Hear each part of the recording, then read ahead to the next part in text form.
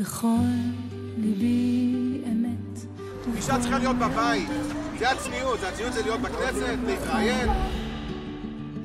אני גאה להכריז על ייסודה של מפלגת הנשים החרדיות. דמוקרטיה זה לא קשור אלינו. אישה כזאת מפסיקה להיות אישה יהודייה. ציפית להפי אנד. כאילו אני כל כך זרה בתוכם. החלטנו לחדול מלהיות צופות מן הצד. יהודייה, מיד בערוץ 8.